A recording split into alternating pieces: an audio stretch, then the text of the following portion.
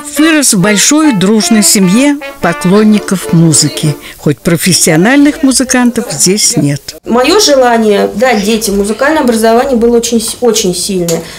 Поэтому мы, собственно говоря, в четыре с половиной года Глеба и отдали музыкальную школу. Вот очень благодарна учителям, попали к хорошим педагогам. Наталья Кирилловна, она... Вы знаете, когда приходят э, родители, приводят вот маленького ребеночка и совершенно не понимают, куда его отдать.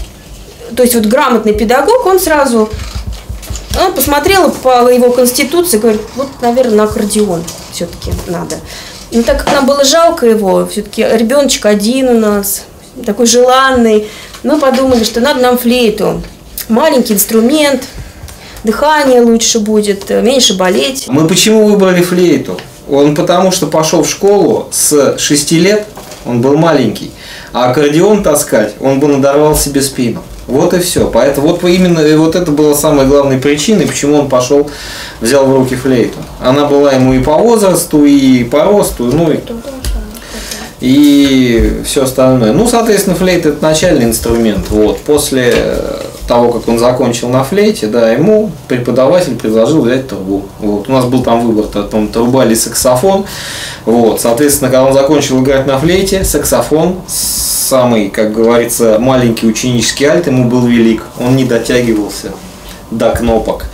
Поэтому, а на трубе у него все получалось. Мальчику не было пяти лет, когда родители привели его в музыкальный класс Зареченской школы искусств к Андрею Радостеву. Собственно, даже с первых уроков э, это было и интересно и ему, и мне. И мы уже, по-моему, в самом первом на самом первом концерте, отчетном концерте, э, уже играли э, на отчетном концерте школы, уже играли в зале ТК. Вот, я помню, мы с ним шли оттуда за ручку папа говорит, я сейчас подойду, возьмите его за ручку. Маленький, маленький идет, такой вот очень доверчивый ребенок. Ну, в общем-то, он до сих пор доверчивый, так и остался ребенком. Вот, мы э, три года, два с половиной года играли на блокфлейте, э, достигли достаточно высоких результатов, то есть он играл виртуозные вещи уже на блокфлейте, и потом решили все-таки, что Флейту мы переросли, блок флейты, надо браться за более серьезный инструмент, в частности, вот труба. Прошло 8 лет, и Глеб стал обладателем лауреатских дипломов международного, всероссийского, областного и районного фестивалей. Для съемочной группы ОТВ он исполнил «Ронда Капричиоза» французского композитора Сен-Санса. Произведение мелодичное, красивое и очень сложное – Трубачу вести мелодию помогала концертмейстер Оксана Гладкова.